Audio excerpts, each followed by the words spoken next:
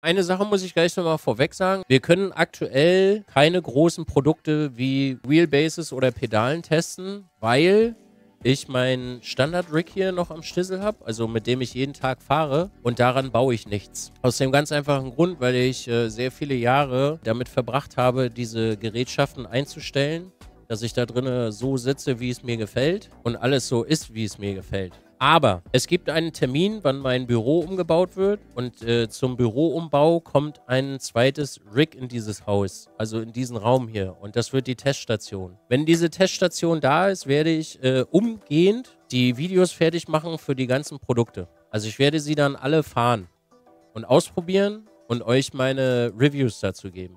Und wir werden sie auch länger fahren als nur eine Woche. Was sehe ich da im Hintergrund? Ja, äh, da im Hintergrund steht so einiges. Gestern kam ein Paket an.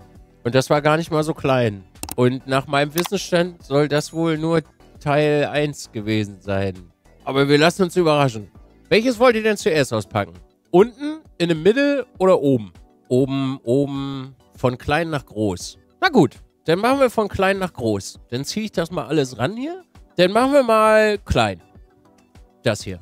Oh, das wird ein langes YouTube-Video. Maga, ich habe mir wirklich alle Videos äh, zu, zu diesen Sachen angesehen, also zu einigen dieser Sachen. Und ich habe sie bis auf der, äh, vor einem Jahr auf der Simracing Expo, ja, vor circa einem Jahr, habe ich sie angefasst. Und seitdem wurden auch noch ein paar Sachen geändert. Und ich weiß noch nicht genau, was mich jetzt hier erwartet. Und das ist das erste Mal, dass ich das in meinen Händen halten darf. Bevor wir das jetzt hier alles machen, all diese Sachen habe ich nicht bezahlt. Sie wurden mir zur Verfügung gestellt. Ich darf sie behalten. Ich muss sie nicht zurückschicken. Ich habe keinerlei Auflagen gekriegt. Das heißt, ich darf auf Herz und Nieren testen und ich darf dazu sagen, was ich möchte. Ich möchte das immer nur der, Fairness, der, der Fairness halber deklarieren. Nicht, dass es nachher heißt, Dizzy ist käuflich zu erwerben. Was haben wir denn hier drin? Das sieht aus wie Shifter. Okay. Sind das Shifter? Nee, das sind die Klatschpedals, denke ich. Oh, die sind aber sehr schön. Ui, die sind schön. Okay. Die sind schön schwer. Okay. Gibt's hier... Also hier sind halt, wie gesagt, zwei Klatschpedals drin. Moment. Hier. Ist jetzt so vom ersten Gefühl her, ist glaube ich Plastik, aber fühlt sich nicht schlecht an. Geruchstechnisch auch ein 10. Man kann das äh, Pedal sogar hier noch verschieben. Also es ist äh, individuell einstellbar. Von der, vom Gang her ist es gut. Also es hat wirklich einen sehr guten Widerstand. Hier ist auch gleich das Werkzeug mit drin. Einen Imbus, den man wahrscheinlich dafür braucht. Was ich noch nicht gesehen habe, ist eine Anleitung, aber dafür müssen wir wahrscheinlich ein bisschen tiefer reingehen, weil Asitec fördert nämlich aktuell bei Menschen, dass sie ihre Sachen selber machen, was ich total geil finde. Ach, das ist ja... Oh, Asetec wieder einfach eine einfach ein 12 hat. Nee, Anleitung brauchst du nicht. Pass auf. Hier. Also hier unten ist ja eine Schraube, um das reinzuschrauben. Ne? Da. Kann man sehen. Das Gewinde. Mach mal Fokus. Da ist das Gewinde. Hier. Das ist die Schraube. Pass mal auf. Asetec war so clever. Jetzt denkst du dir, äh, wie kannst du das jetzt hier anschrauben? Kommst ja, kommst ja nirgendwo ran an die Schraube. Ja, Pustekuchen. Machst du auf. Machst du auf, hast du da ein Loch drin?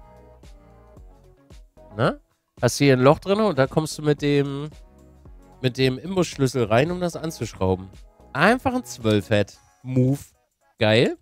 Aber trotzdem gucke ich nochmal. Product Manual. Schade, gibt es nur in digitaler Form. Hier ist nur eine Pappe, die man scannen muss. Das heißt, es wird wahrscheinlich eine Anleitung geben im Interweeps dafür. Gut. Legen wir die mal kurz hier wieder mit rein. Das sind die Klatschpedals. Würde ich jetzt mal behaupten, weil die sind nicht magnetisch. Aber das finden wir jetzt raus, weil hier sind Aufkleber drauf. Jupp, das waren die Klatschpedals. Schön, super easy, einfach verpackt. Nichts Besonderes. Stinkt auch überhaupt nach nichts. Also riecht wirklich sehr gut beim Auspacken. Tolle Experience. Riecht neu, aber nicht aggressiv neu. Mag ich. So, wir gehen also von oben nach unten. Riecht auch komplett neu. Nicht nach Chemie, sondern super angenehm. Was haben wir denn hier? Ui. Oh, guck mal, das ist ja auch ein sehr interessantes System. Der Magnet ist jetzt nicht hier irgendwo drunter, sondern da ist der Magnet. Hier. Okay, die fühlen sich sehr gut an. Die sind nicht laut. Das ist schon mal sehr schön. Jetzt müssen wir mal gucken. Ah ja, hier ist auch wieder dasselbe mit, dem, mit der Schraube. Da kannst du das Loch zumachen oder du machst das auf zum Anschrauben. Sehr schön. Vom Feeling her sehr angenehm. Bisschen klein, die Dinger, ne? Die sind ein bisschen klein hier, du. Aber eigentlich auch geil, weil du kannst nur einen Finger. Kommst nicht mit zwei ran. Müssen wir mal gucken. Die Pedals sind auch sehr, sehr, sehr angenehm. Schön Druckpunkt, nicht zu laut. Die haben guten Zug drauf. Gefällt mir gut. Magnetische Shifter. Nun frage ich, jetzt habe ich eine Frage. Warum, warum sind magnetische Shifter extra? Hm. Nehmen wir das obere? Das obere. Ich gucke nicht auf ein Cartoon, was es ist. Wir nehmen das obere Paket. Beschaffenheit übrigens, äh, Beschaffenheit fühlte sich auch an wie Plastik. Fühlte sich auch an wie Plastik, aber nicht äh, minderwertig. Ne? Also, ja, das ist auf jeden Fall Plastik hier. Ist aber, wie gesagt, fühlt sich nicht minderwertig an. Also, man könnte meinen, wenn es ne, noch eine gewisse Kühle hätte, äh, weil Metall hat ja immer so eine gewisse Kühle, würde ich äh, wirklich ganz klar sagen, das ist äh, Metall gewesen. Ist aber auch Plastik. Ich glaube, ich weiß, was es ist. Ich würde sagen, ich habe herausgefunden, was es ist. Das ist das Formula Wheel Forte. Was kann das denn? Verpackungstechnisch sehr schön. Stinkt nicht, finde ich auch gut. Riecht aber neu. Mm, das finde ich sehr schön, dass sie das äh, extra betonen, dass es äh, dänisches Design ist. Da sind sie ja äh, sehr stolz drauf. Hier ist noch ein bisschen, äh, bisschen Erklärung mit drauf, dass du das äh, über die Software machen kannst und wie das Quick Release äh, System funktioniert. Also sehr, sehr interessant. So. Oh, das ist schön verpackt. Ich meine, oh, das hat wirklich einen sehr schönen Neugeruch. Das erinnert mich an Apple. Oh, das erinnert mich wirklich an Apple.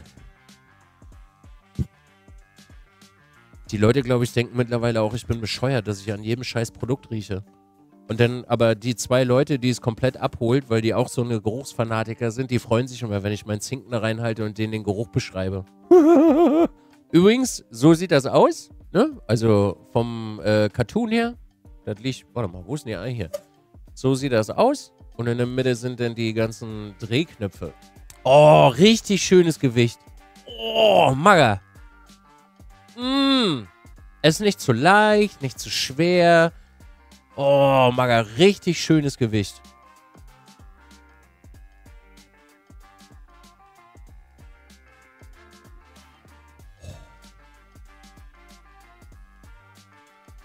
Mm. Ich liebe es. Oh, ich liebe es. Aber erstmal den Karton auspacken hier. Oh, Maga, was? Richtig schön. Was haben wir denn hier drin? Äh, Azitec SimSport Sim Racing Products. Okay, Safety. Das brauchen wir nicht. Und auch das Manual. Also hier sind nur ein paar Zettelagen drin. Aber ich sehe hier unten drüber. Dein Ernst jetzt? Oh, ja. Ja. Ich liebe Filme, die mitdenken. Na, wer weiß, was wofür das wieder da ist. Ich liebe es, wenn du ein Produkt kaufst und der ganze Kram, den du brauchst, mit dabei ist, weil es gibt Menschen, die wollen sich mit den Sachen die Augenbrauen zupfen und dann kann man das nämlich einfach gleich in einem Ritt machen. Aber nee, es ist für alles, für alles sind wieder Aufkleber dabei. Also falls du alles beschriften möchtest, kannst du das gerne tun. ABS, Volume, hier ist wirklich wieder alles drin. yes, no, maybe, left, right, back, 1, 2, TC, dies, das, Ananas. Also ist wieder alles dabei fürs Bekleben und Du hast gleich eine Pinzette dabei. Aber, und das finde ich gerade interessant, hier sind noch Sachen dabei, die könnte ich jetzt nicht zuordnen, wo die hingehören. Das müsste man wahrscheinlich dann mal in der Verpackung gucken. Ah, ich sehe auch, aha, ich sehe auch, warum wir, äh, das gehen wir jetzt mal kurz durch. Ui. Du, ich sag's dir, wie es ist. Ich sag's dir wirklich, wie es ist, Chad. Das, was ich auf der Sim Racing Expo angefasst habe, also das Forte Wheel, ist definitiv nicht dieses. Das ist definitiv nicht dieses Wheel. Das ist eine Neuauflage, hundertprozentig, weil Das ist vom Anfassen her viel, viel wertiger. Hier ist kein Flex drin. Also ihr seht ja immer an meinen Armen, ich mache da schon gut Action drin. Hier ist kein Flex. Gar nichts. Wir können übrigens an dem äh, Lenkrad hier oben noch die anderen äh, Magnetic Shifters mit anbauen und hier unten können wir die Klatsch mit anbauen. Das heißt, theoretisch hätten wir sechs Dinger hinten dran. Oh, das ist schon mal die erste Sache, die mir auffällt. Die rote, die Dreh-Encoder hier an der Seite, also ich nenne sie jetzt mal Encoder, sind ein bisschen leicht. Die könnten ein bisschen schwerer sein für meinen Geschmack. Druckpunkte der... Oh. Ist hundertprozentig, haben sie das überarbeitet. Das haben sie überarbeitet. Die Druckpunkte äh, der Knöpfe sind sehr, sehr schön. Uh. Mm. Die Druckpunkte sind wirklich schön von den Knöpfen. Also für euch mal hier. Weiß nicht, ob ihr das... Nee, wir machen heute richtig mit. Wir machen heute Service. Das ist mir nämlich gestern im Video aufgefallen. Und zwar... Hallo, hallo.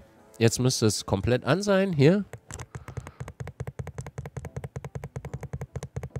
Sehr, sehr schöne Druckpunkte. Nicht zu leicht, nicht zu schwer. Kommst du gut ran. Das sind die Shifter. Und das liebe ich. Die sind so dumpf und so leise. Ein Gedicht. Das ist, das ist wirklich ein Gedicht.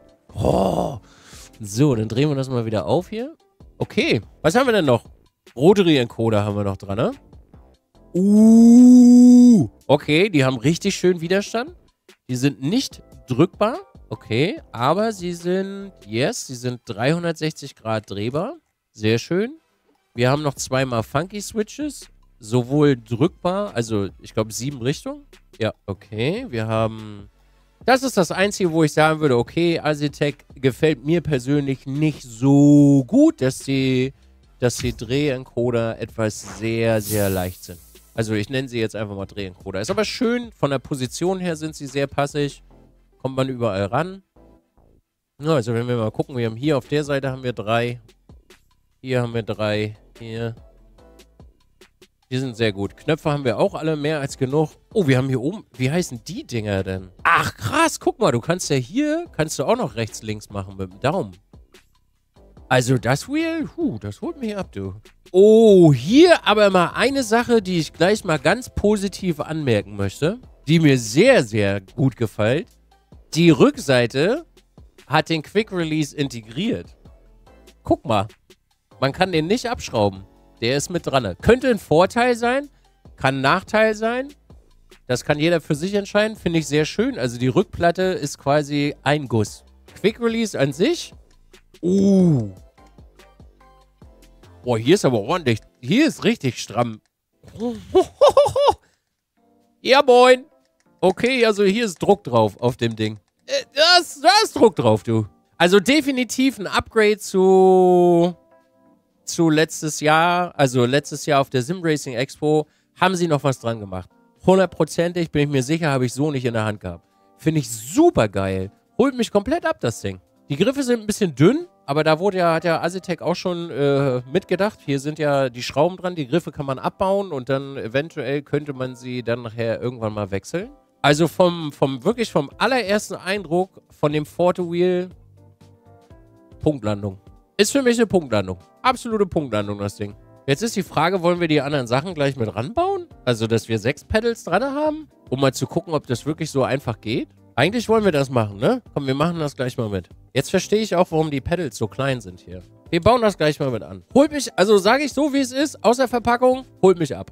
Holt mich ab, das Ding. Ich möchte übrigens nochmal anmerken, ich habe extra bewusst, also ich gucke bei meinen Reviews extra nicht nach dem Preis, weil ich empfinde es immer als ähm, unschön, nach Preisen zu gucken, weil dann sortiert man das nämlich immer preislich ein, äh, von der Wertigkeit her. Also nicht, dass ihr euch jetzt wundert, äh, ich habe nicht nach dem Preis geguckt, das machen wir meistens am Ende.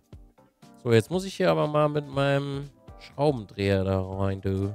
Komme ich hier überhaupt rein? Ja, ich bin drinne. So, dann bauen wir das mal an hier. Ist super simpel. Also, es scheint mir erstmal super simpel. Ich weiß nicht, ob ich jetzt das Loch getroffen habe. Habe ich getroffen? Mager, super, super simpel. Total tolles System. Einfach nur das Ding wegschieben und gut ist der Lachs. So, dann schrauben wir das Ding hier auch nochmal ein. Fühle ich. Also es ist wirklich nur stecken, reinstecken, eine Schraube dran und fertig ist der Bums. Guck, jetzt haben wir hier oben noch ein Pedal. Oh, wie geil ist das denn, ey? Fühle ich ja. Das geht auch schön. So, jetzt machen wir das hier auch noch gleich hinterher. hier muss man immer ein bisschen aufpassen mit dem Magneten. Aber wir müssen hier nochmal... Okay, ich bin drin. So, das führen wir jetzt hier ein. Und dann schrauben wir das Ding hier einfach fest. Und dann hat sich das eigentlich schon geritzt wieder. Was ich sehr schön finde, ist, dass der Magnet den Imbusschlüssel, also der Magnet, der hier oben dran ist, da an den, an den Magnetic Shiftern, ne, also hier, da, der hält den Imbus schön. Das heißt, du kannst da eigentlich auch nicht wirklich viel falsch machen. Cool. Dann schieben wir wieder das Ding zu. Ne? Also wie vorhin schon gesagt, du kannst das aufschieben, dann kannst du hier den Imbusschlüssel reinstecken, kannst du zumachen und dann kannst du ja auch für dich noch äh, für dich noch hin und zurück, vor und zurück das äh, einstellen, wie du das möchtest. Wow, sehr schön, wirklich. Durchmesser finde ich auch sehr gut. Wäre für mich vielleicht ein bisschen eng, aber die Hände liegen gut drin, die Finger liegen gut auf. Finde ich supi. Finde ich toll. Wir gucken nach dem Preis, wenn der Hobel fertig ist. Oder Chat schreibt es jetzt gerade. Weil, also mein erster Eindruck ist durch. Jetzt äh, ist das erstmal so an sich für mich nicht mehr relevant, um das äh, einzuschätzen. Also ich würde mal aus dem Bauch raus. Ich mache mal eine Schätzung, ja? Ich mache mal eine Schätzung. Das Wheel... Ich würde mal sagen, das Wheel kommt um die 500. Würde ich jetzt mal aus dem Bauch raus sagen. 500 wird das kosten. 5, 6... 5, 600. Hätte ich jetzt mal in den Raum gestellt. 650 kostet das. Na, dann lag ich ja gar nicht so verkehrt. Finde ich übrigens, sage ich wie es ist, sehr fair für das, was man hier bekommt. So, jetzt müssen wir erstmal gucken, ob das hier so richtig ist mit der, mit der Klatsch. Dann schrauben wir das erstmal hier ran, in der Hoffnung, dass das alles passt. Das hat Asitec wirklich sehr schön gemacht. Also ich denke, das wird hier jeder hinbekommen, diese eine Schraube ranzumachen, um das abzugraden für sich. Und das hält super gut. Da sind äh, kleine Löcher noch drin. Ne? Also wenn wir jetzt mal hier schnell gucken. Da seht ihr hier an der Seite sind zwei solche silbernen Nasen. Und diese Nasen, die sind hier genau in diesen Löchern drin. Da. Also man kann hier wirklich nicht wirklich, also man kann nicht wirklich was falsch machen. Und zack, die Bohne haben wir das auch wieder eingebaut hier. Und dann ist das äh, dritte Pedal auch gleich dran. Ich hätte es mir weitaus schwieriger vorgestellt, bin ich ganz ehrlich. Fühlt sich sehr, sehr schön an. Hat einen ganz tollen Druckpunkt, geht geschmeidig durch, nicht zu leicht. Holt mich ab. Schönes System. So, werden wir das hier auch nochmal ranschrauben. So, wir müssen nur ranschrauben, keine Kabelverbindung, gar nichts machen. Und jetzt haben wir hinten an dem Forte Wheel sechs Pedals dran. Also die normalen Shifter-Pedals haben wir. Oben haben wir noch zwei extra. Und auch die Klatsch haben wir dran. Und das hat nicht mal 10 Minuten gedauert. Ist wirklich einfach nur reinstecken, eine Schraube ranmachen und dann ist das Ding geritzt hier. Total geil. Total tolles System. Super durchdacht, finde ich. Nichts mit irgendwelchen Kabeln und Steckern und Wheel aufmachen und sonstiges dergleichen. Ja, das ist das Wheel. Das ist jetzt das voll abgegradete Forte Wheel. Der Quick Release ist auch geil, weil den kannst du einfach so runtersliden und dann bist du dran. Und nur zum Abnehmen musst du den hochziehen. Ja. Unten ist der Connector und der wird dann an die Wheelbase rangehen und dann hast du auch keine Kabel dran und nichts. Und das ist wirklich richtig stramm. Da ist ordentlich Federung drin. Also, pff, da muss man sich, glaube ich, schon sehr viel Mühe geben, das abzureißen. Also, das Wheel. Eine 10. Eine 9.